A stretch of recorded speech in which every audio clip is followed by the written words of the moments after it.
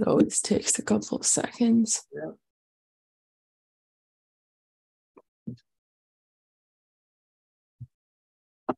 Okay, we're good to go.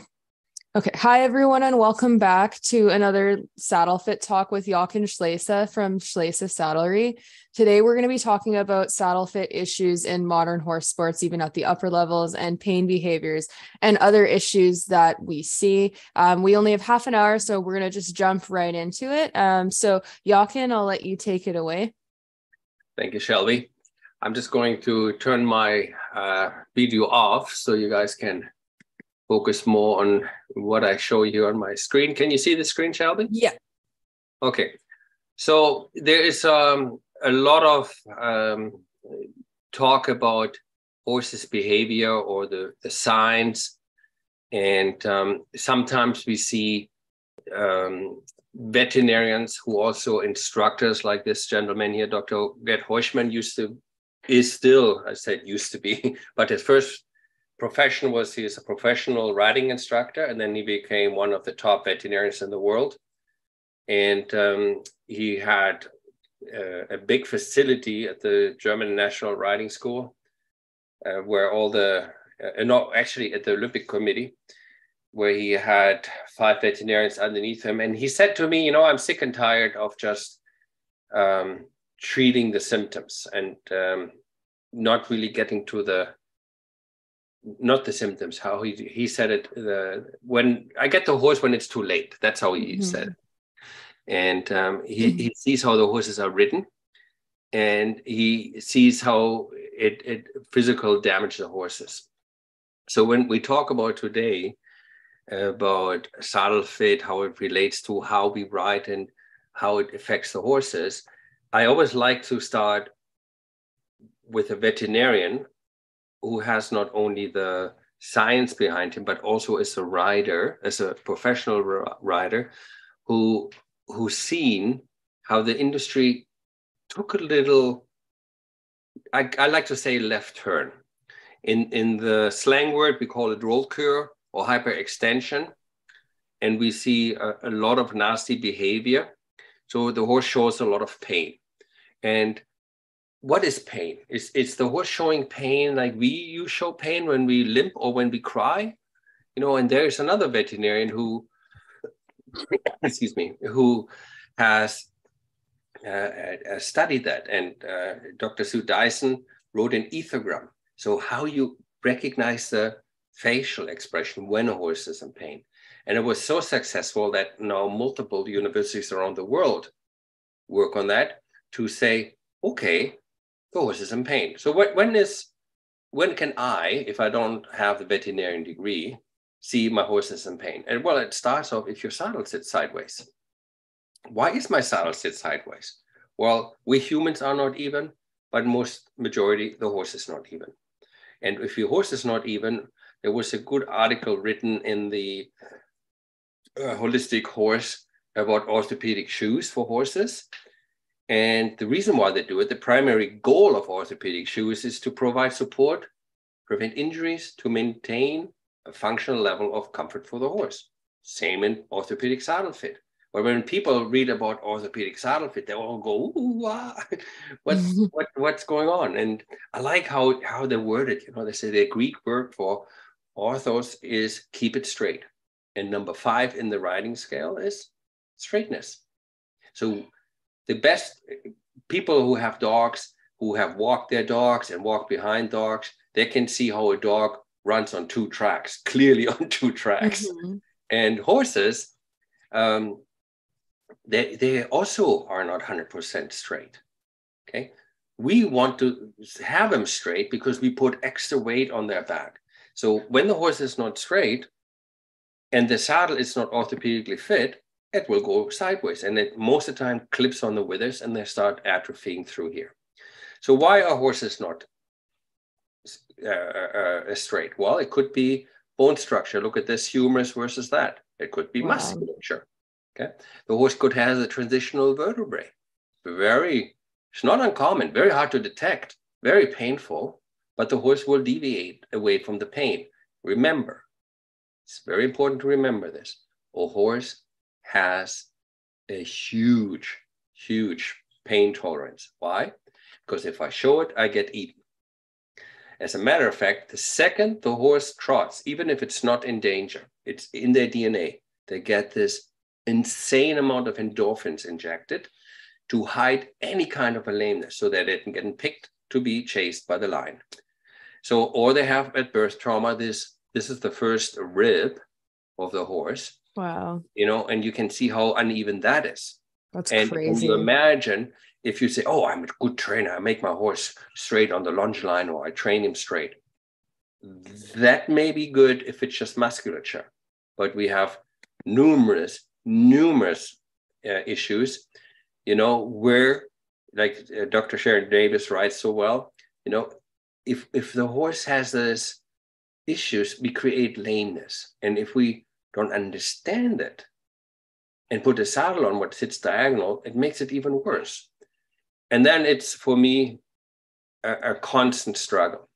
So we all have horses seen with necks like this, where we see, like Dr. Robson calls this line, a pain line.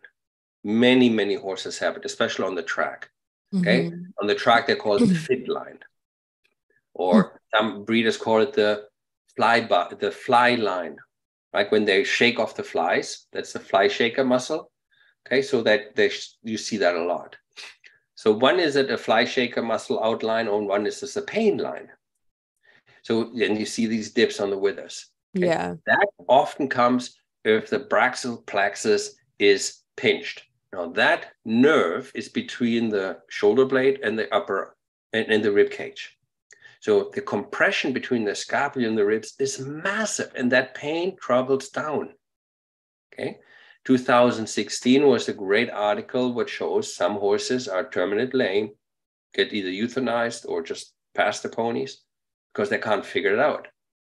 And yet we know for a fact if the CN11, I'm going to move that over here so it's more clear. If the CN11, this is this nerve, and you- that's mm-hmm. what you know as pain line. So that's the CN11. Okay, if that gets pinched by the saddle, the horse instantly ducks down his head. Right? It drops the rib cage. Right? It drops the rib cage or the base of the neck. So what you want to see is that the horse, this is the sternum, the elbow, lifts the rib cage. Look at how much space there is between the brachial plexus. If not C5 to C7, these are the vertebrae on the neck, they're locked, right? And if you start to ride and train the horse in what we call a rollkur, where we behind the vertical and hind leg is in la la land. Mhm. Look how low uh, the Oh, fetlock wow. is. And this person here, top level European rider, gets high marks. Same with this garbage. Mhm. Okay, so the back is super low, but the uh, people on the peanut gallery are the people who do not know the we call it circus trot, Yeah. proper trot. Go in the audience and go yay, clap, clap, clap, and then the uh, other side where we see the people with, um, unfortunately, corruption is not just in government; it's everywhere. Yeah. we, we see people given a, a 10 for this trot or for this behavior, okay, versus the uh, elimination, right? It's clearly stated in FN rules, you get eliminated if you ride circus trot. And it has nothing to do, but no, they give a 10 instead of ring the bell. This is a common picture in the eventing or in the jumping world. You know, the horse is like in severe pain, runs away, and we do all kinds of garbage to them. So if we know from scientists and the rib cage drops and the brachial nerve plexus pinches because natural is up, like a good rider understands to lift the base of the neck. Okay. On jumping styles, very easy to see. That's very clear when that brachial plexus is compressed. You see the legs uneven. They come together in the front like a V, and then the shoulder is out. And if I'm riding a big show class or uh, I'm just riding for pleasure or I want to clear a fence, the distance between the hoof and the sternum, that's 15 centimeter. So I can lose this even though we have all the vets out there who show you what the saddle damage will do, I kind of trying to get my horse freedom in the shoulders. Right here's a, I just videotaped a, a, little bit the upper arm. When the upper arm pushes the shoulder blade back, this comes back. But normally there's a lot of space there. So there should oh, be wow. no reason for it. So if a horse jumps properly, look at the space. Look where his hoofs are. Mm-hmm. They're wide apart. Okay. Who would have known that a nerve can create such an issue? Okay. We are very uh, slow to change when we say we, the human. Like if I'm mm-hmm. touching my funny bone, I instantly do a jerk reaction. So that's probably the easiest way I can explain it to all of you folks. If I want to really drive myself crazy, I just have to have trigger points and I make a jerky reaction. So if you want to drive your horse crazy, jerky reaction. This is probably one of my favorite vets out there because she's also a big, big show jumper, but she has lots of experience in biomechanic. She done a lot of dissections on all continents. This is just a snapshot out of a video we done with her a while ago about the back symposium, but just take three minutes and listen to what she says. Would merely can not lift, he wouldn't, there would be no jump to speak of. And if you look at him now, he's lifting through his shoulders. And one of the most beautiful parts, which you can just make out in the picture at the back here, he is pushing off the ground. And this is a novice, novice horse. And I can't tell people how, how important and how special this is and how much the saddle has enabled this horse to do this. He has never pushed off the ground like this. Now, the classic way of training show jumpers would be to go back, force him through through many, many lines, force him into a pushing position, even if he is uncomfortable, even if his body couldn't do it, even if he was restricted. Um, you would then put him in lines that would force him to push with both back legs. That would have broken my horse. Um, and it does many, many horses because we're not addressing the thing that is stopping them from pushing. I don't know if anybody's ever watched a horse that is free jumping or actually just in the field jumping by themselves, they have no problem pushing. They only have a problem pushing when we're on their backs and we restrict them with equipment that does not allow them to utilize their thoracic sling, their abdominals, and their back appropriately there's another point on this picture. There's a reason I picked this this particular shot. There are a few better shots where he's got much more, much more elegant technique of lifting his front legs. But this particular picture shows you actually his thoracic sling coming into play. And I'm just going to use my cursor. If you look here, you see these pectoral muscles in its actual groups contracting in order to allow this jump to happen. And that is spectacular. Um, it is very rarely seen. And I think it's underrated because this allows this horse to lift and not just lift, he's lifting his entire sternum and he's lifting all his shoulders. And the freedom that it's allowed him is remarkable. Um, from this point of view, I urge everybody to, to look for this when they're looking at a, at a jumper saddle. If you're looking at a dressage horse's saddle, it's not much different. You want to look for elevation. You know, um, I listened to a, a, a, marvelous talk. It was also with Jochen, I think it's a couple of years ago now. But you know, if you watch horses and you watch a stallion trying to impress mares, the one thing they do to impress each other is they come off the ground. They have a moment of suspension. They hang and so this goes on and on and on. In today's topic, I just thought it was really impressive how you can see when the horse uses this. And the topic today you know, we want to talk about the modern horsemanship and the normalization of poor saddle fit. I cannot tell you, Shelby, how many times I see horses where the saddle is in the ring of light. Mm-hmm. You see clearly here that is, is the area, the lumbar area here from the back, a horse's spine. You see how these bones stick out. Yeah. It's just absolutely flooring me. The first thing saddle fitters learn is the length of the saddle. It's either too long, okay, or too short. And when people say, "Oh, your saddle's too long," but I'm going to help him a little bit and stop him, it's kind of like you say, "My car is not driving. Um, my pistons blow. Oh, let me wipe the windshield, and then you're okay." Mm-hmm. What has that to do with anything? Just because I can now look out of the windshield, my car still doesn't drive. So if my ho- my horse bucks me off all the time, or or buckles every time I do a sitting trot, and it's as if I step in a hole. Get off the loins, ovaries. The kidneys attach from the bottom a muscle to these bones. Okay, get off that. That is for me in today's riding world. I don't get it. That that with this modern horsemanship that we don't pay enough attention to this. The other thing is the insane amount of saddles would cripple the horse's shoulders, driving the saddle forward. I just showed you some very, very important nerves, the CN11 and the plexus, plexus, brachial plexus. So mm-hmm. if just slight pressure, but this now it's like beyond that. So now that two animal tries to do it. Never get me going with the crookedness we just talked briefly.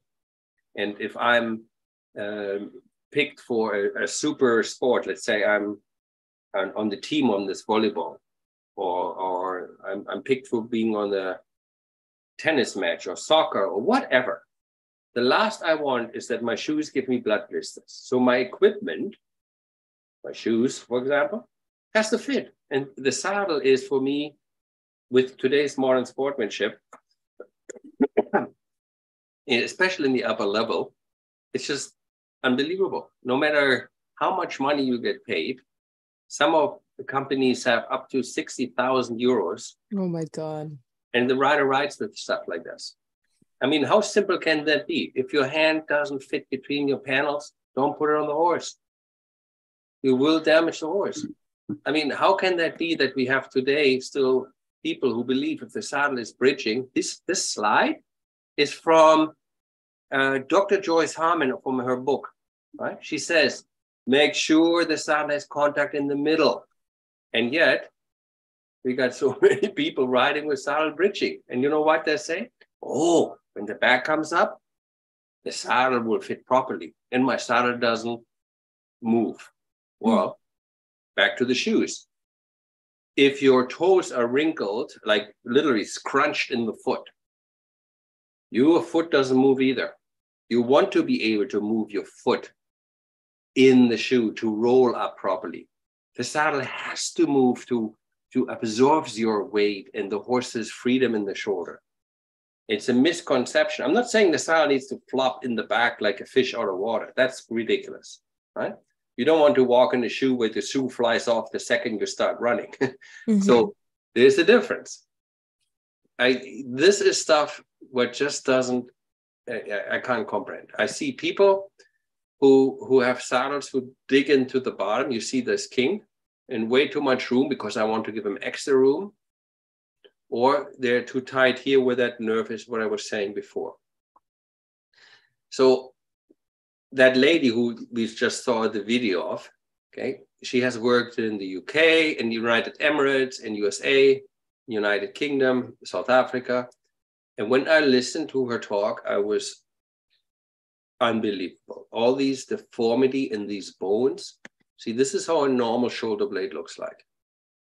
So if I take a hammer and I hit you with that hammer on your chin, not only are you in massive pain, but your bone will grow bone. You will have a bump there forever. So these are the shoulder blades with the saddle slid forward right? Bone grows bone when it's mm-hmm. under attack. So if I look at now where we go, let's let's take a step back. When is the horse happy? Where do they normally live in the herd? They live in the herd, they graze, head is down 17 hours, right? And then we start riding. And we have that conversation numerous times, shall we? Mm-hmm. So where, where people start too early, the horse's skeleton is not done until they're six years old. The old military style was the horse is three years old, you ride only three times a week, four times on the week, work the horse on the ground. Each year, one day longer per week. Today, they go in these super expensive auctions. You buy horses for 600, 700, 900,000 euros with three year olds, and they do flying changes. Right? It's ridiculous. Never mind the racetrack or the Western Futurity. Mm-hmm. So, if you ride a young horse properly and you build the top line, then you have a horse that lasts you many, many years. But back to, the horsemanship today, we have people who make a living, such as yourself. Okay, which means you have to look more than saddle fitting. You have to feed them, mm-hmm. you have to board them. It costs all money, and especially in today's in crazy inflation world we live. so, so longer you have a horse in your training barn, so longer, so more it costs you. So the most trainers struggle with that. You know, how can I, if you buy horses and train them, get them through the program without doing it too fast? Mm-hmm. So the consumer, most of the time, an adult amateur rider who has the money, who starts late, here's the horsemanship experts at the trade fairs, anywhere from Monty Roberts to Pat Parelli to Clinton Anderson, and the list goes on and on and on what to do and what not to do. And then we got the reality world of how do we make all this work? So we have the science, you know, who tell you the do's and the don't. And then we have the reality. So I, as a rider, have a choice. You know, do I need to ride like this? Well, yeah, if I get a gold medal for it, right? If this is my number one, this the the rider you see here used to show a horse three times in the Olympics. So for three years, Olympics come by every four years. That horse lasted 12 years. Mm-hmm. Now you see one horse, one Olympic, it's gone. Right? You don't see them anymore because they don't sustain, they, they cannot hold this. So it's kind of a, a hard topic when we talk about um, what is right, what is wrong. This is one of my favorite pictures. And um, this is a good illustration of what is always been preached since 400 years BC. If the horse is able, with or without you, to lift his back up, the horse's haunches can come underneath. Then he can lift himself up and the front will last longer. However, we see a lot of horses being trained and ridden like that for whatever reason. Okay. And sometimes we put big, big blocks on and change and all other stuff for whatever reason, sport, I don't care what you call it. So the the the struggle is out there for the trainers who want to do it right.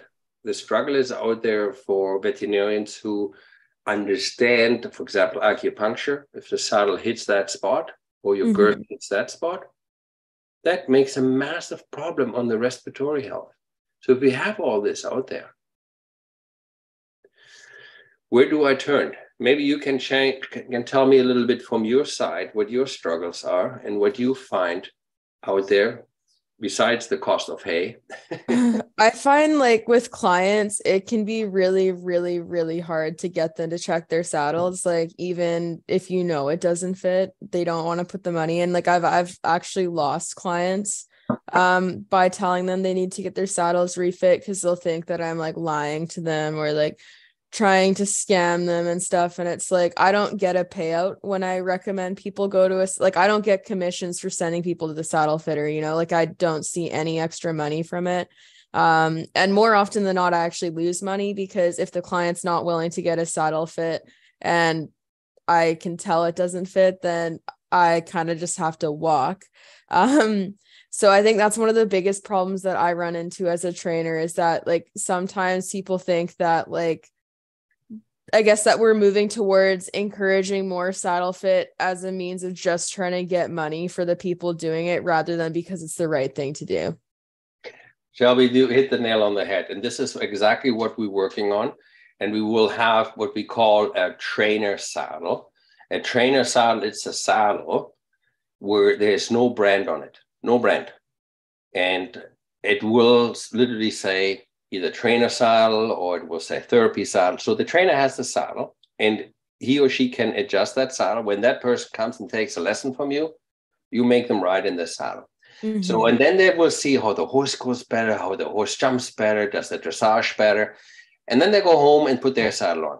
Uh, my horse starts refusing. Uh, my horse is not going on the bit. Uh, he's not going forward. Uh, wrong lead. Oh, need to take another lesson. Come back to you. So not only will you have more lessons, finally they will click and says, maybe I need a saddle like this. Maybe I need yeah. a saddle check. Unless the customer feels the difference, unless the trainer has a tool, I call it a tool, to use in their toolbox to give a customer the feel, this will never change. And the horse will keep being in pain and hurting and hurting and hurting. So, how, what do you think about that idea? I think that would be good because, yeah, I think that's like a problem. Like, morally for a lot of trainers too. Sometimes you have to choose between like getting paid or doing like the right thing for the horse. So that's right. Being having more options would be good. So that way your own saddle doesn't get wrecked. And of course, it's a little difficult if you have a riding barn where you have teach four or six people at once. Yeah. Then it gets out of control. But if you have one client, one saddle, and you can literally in less than five minutes adjust that saddle and the saddle pad, boom, off you go. Yeah. That makes a massive role. Not only does the customer feel, wow, I really, this is the best trainer I had. I really can sit the trot now. Wow, I can jump higher. Wow, I have been with the other trainer for four years and I'm still only jump two foot one. So stuff like that is what not only does the business good for you, I'm not trying to sell you on the trainer yeah. side. I'm trying to, to, to explain the customer got to feel it first because they don't hear it. Yeah, no, exactly. Because, yeah, otherwise they don't believe it. No, they don't believe it. And there's enough trainers that are willing to just ignore that, that they can definitely find someone who will like move them on the timeline that they think they need to, which is, yeah. Exactly. Because of all the problems I was showing, right? Mm-hmm. But anyway, so I hope this half an hour was um, informative for you and your, yeah. your client. And it's always something new what's out there. I mean, when I saw the first rib, how uneven that can be, you no wonder I sometimes have a horse what doesn't take the left rein. Yeah. Just trying to compensate for it. And if I don't have a saddle what can orthopedically adjust it for that, then I never win. I just get yeah. a horse that gets sour. And sure, you can sell horses all the time and inject as much as bute as you want into it, but that's not riding. That's just rape. Yeah. Good seeing you again. Okay. Thank you. Yeah. Have a good care. day. And yeah, thanks again.